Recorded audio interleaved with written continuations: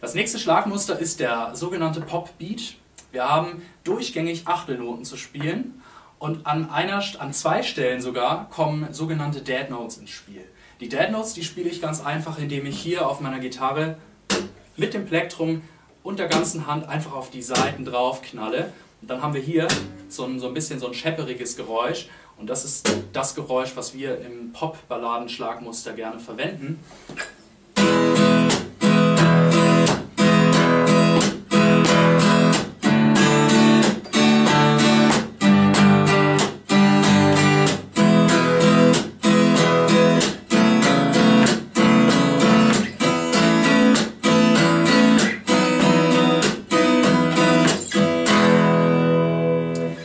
Anfang nicht so ganz einfach mit dem äh, Schlagmuster den, dieses Ploppen hinzukriegen. Gerade wenn sich das bei dir so anhört, sind die Dead Notes noch nicht ganz richtig. Du guckst am besten, dass du einfach mit, äh, mit Anlauf, mit Schwung die Hand auf deine Seiten drauf schmeißt und dann hast du einen richtig schönen schepperigen Snare-Sound. Das ist so ähnlich wie bei einem Schlagzeuger diese Shepper-Trommel.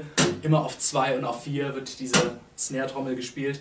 Und wir machen das auf der Gitarre auch so, dass wir 1 und 2 und 3 und 4 und 1 und 2 und 3 und 4 spielen. Also immer auf 2 und auf 4 kommt dieser Shepper-Ton, die sogenannten Dead Notes.